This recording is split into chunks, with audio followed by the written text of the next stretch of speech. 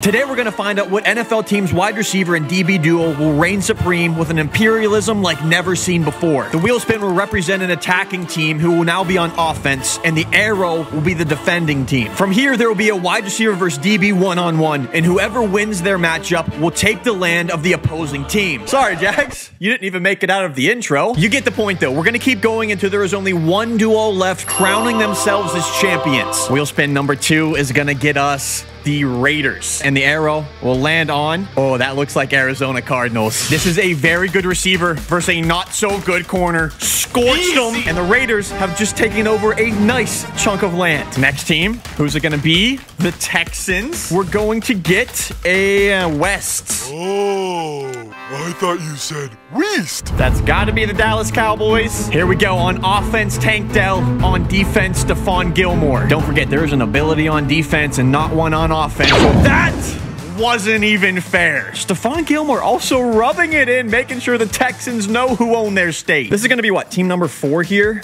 We're rolling with the 49ers. And the arrow for defense will be North. Well, we all know who that's going to be. This is maybe the best matchup that we have yet. Tariq Woolen versus Deebo Samuel, and Deebo scorches. This granted San Francisco a huge spot in the northwest part of the U.S. map. After that, we had Jets v. Giants, and Garrett Wilson came up huge, followed up by Davante Adams yet again, getting his team a third of California. George Pickens took advantage of an absent Tre'Davious White. Jaire helped his Packers move on from an incredibly tough matchup. And then Russell Wilson fit in maybe the best pass that you will ever see with blanket coverage to help the Broncos take the Chiefs territory. Here we are, people. This a look at our current map after making some progress. Our wheel is already looking a lot less full. Hold on, wait a second. We got the Bengals, Ja'Marr Chase. See, it helps the Bengals so much to have their offense out on the field and not their defense. Got to be strong on both sides of the ball or things just aren't going to end up going your way eventually. That'll be South. They'll take on the Titans. We have a 93 overall X Factor versus an 80 overall corner. This, I tell you what, will be one Cinderella story. He couldn't even press him. There was no chance. And look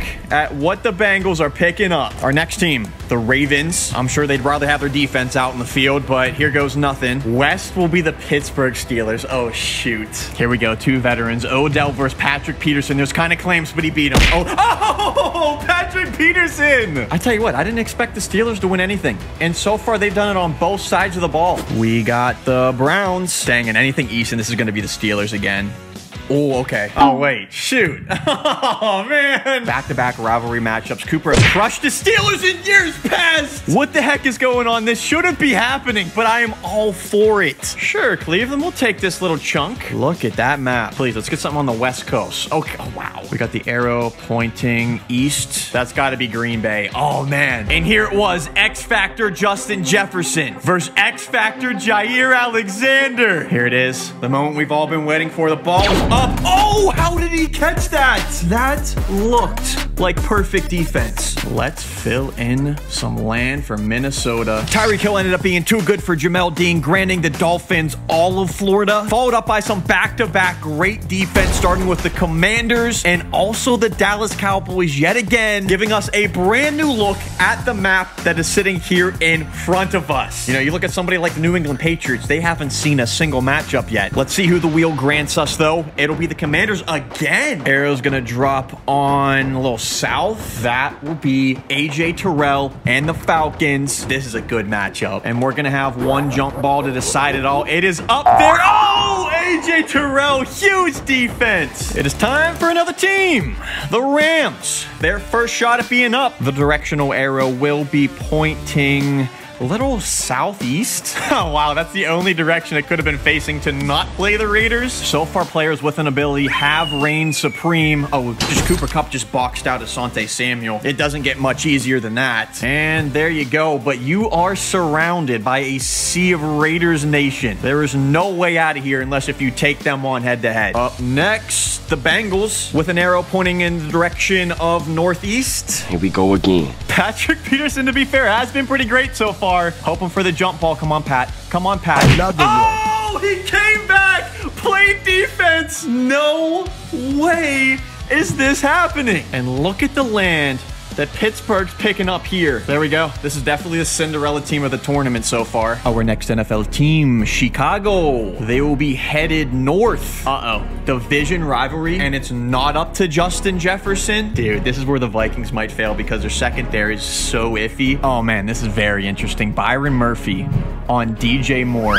The ball's up in the air. Oh, the height advantage. The superstar from DJ Moore didn't matter. That might have been the first time we've seen that happen this whole tournament. Congrats on the land, Minnesota. We're really dwindling down. Only 12 NFL teams left. Out of those 12, three of them have yet to play a matchup. But maybe we will get one of them here. Broncos. Denver's going to be headed south. That will most definitely be the Dallas Cowboys. And just like that, Courtland Sutton and Stephon Gilmore were let loose. How the heck is this going to go down. I'm throwing it up high. It's back of the end zone.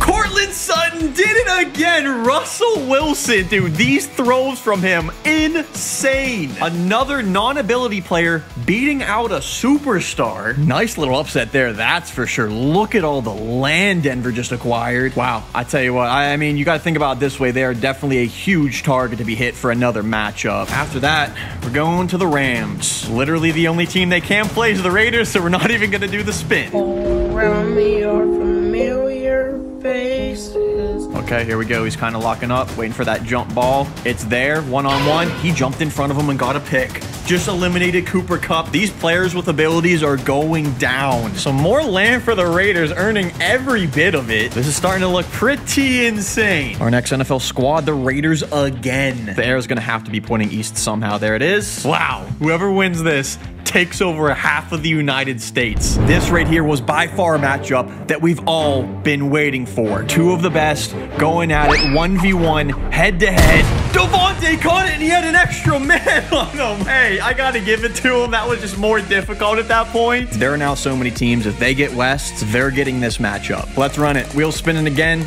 And we get the Patriots for the first time. Now, looking at the map, they're going to have to take on the Jets no matter what. So we got a Sauce Gardner matchup. Gardner ended up locking down, granting the Jets some more territory. Justin Jefferson further helped Minnesota by getting a Moss, taking over the Colts land. We're on to our next wheel spin, and TJ's here, so he's going to give it a spin for a change. Oh, the Eagles. First time they've showed up all tournament. AJ Brown. The direction. They will be going east. We're taking on the Jets. The matchup is set. Sauce pressing up. Here we go. We're waiting for the jump ball. We're sending it.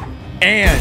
Oh, AJ Brown! That might have been the greatest catch of this entire tournament. Oh, my gosh. He went one hand shebang. No kid. Oh, my. Oh. He said, "What X Factor, Sauce? Oh, what X Factor? Oh, oh, his man. ankle." I'm gonna make a bold prediction and say they win the entire thing. We are going to fill in the Jets. Final seven. The Falcons are up. Oh, we're going northeast. Oh, no way, dude. I thought it was going to be Eagles, but the Steelers have this area. Drake London. I mean, come on. The guys Patrick Peterson has locked down so far has been so much better. Oh, no. He's behind him. Oh, why? Oh, why why is it got to work like that? We got to be fair here. That is some serious real estate.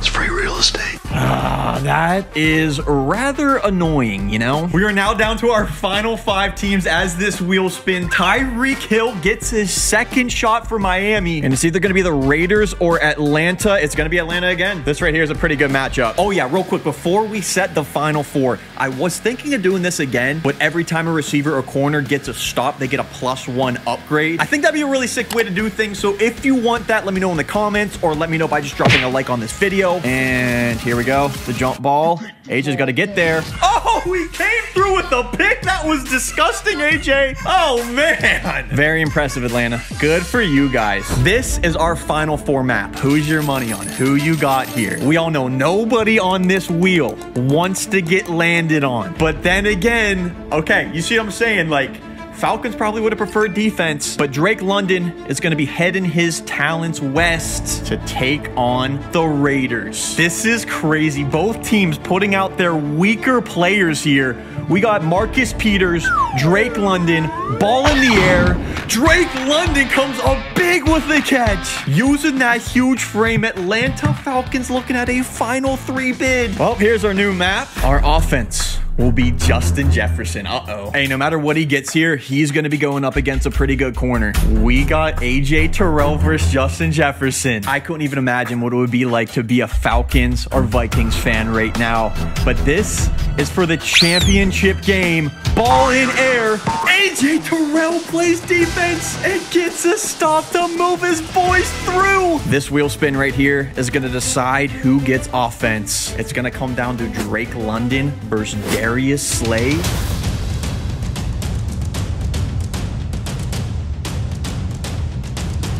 Here we go. The ball is up. This is for everything. Big play Slay gets it done for Philadelphia. Congratulations, Philly. You are our imperialism champions. Oh, almost forgot about that. By the way, if you made it this far, please subscribe.